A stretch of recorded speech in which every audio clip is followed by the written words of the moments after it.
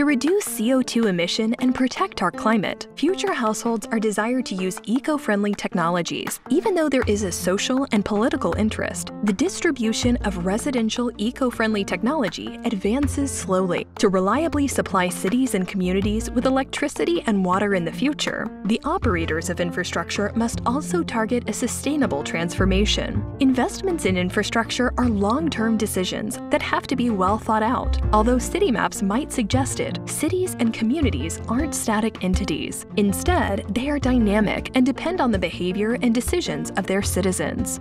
Citizens have their own preferences and resources and are embedded in a social and institutional setting by which they are influenced. Whether a technology is accepted depends on individual decisions, which have an impact on shared infrastructure. To develop sustainable solutions, it is required to focus on both the centralized changes in the infrastructure and the decision behavior of households. That is exactly what happens in the multi-model application of the software IRP Sim. The logic behind decisions of operators of infrastructure, as well as the behavior of households, are modeled. Thereby, the dynamics of the optimization model IRP Opt and the actor simulation IRP Act are connected in an innovative way. This connection allows to showcase sustainable and integrative transformation paths and to provide operators of infrastructure recommendations for their future developments. In this way, local energy supply systems can be designed to be more sustainable, to significantly reduce CO2, and to secure supply in consideration of social compatibility and cost efficiency agency.